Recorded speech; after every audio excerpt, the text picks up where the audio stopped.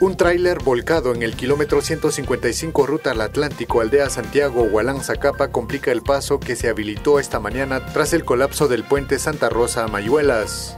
El Ministerio Público presentó en la audiencia sobre el caso Red de El Bodegón que ingresó maíz de contrabando a Guatemala un diagrama sobre la forma que operaba la estructura. Además tiene 20 escuchas telefónicas que implican a los indicados. El Centro Nacional de Huracanes de Estados Unidos informa que la tormenta Matthew ya se convirtió en huracán en su paso por el Caribe. Las previsiones apuntan a que el fin de semana vire al norte y tome rumbo a Jamaica, Cuba y Haití.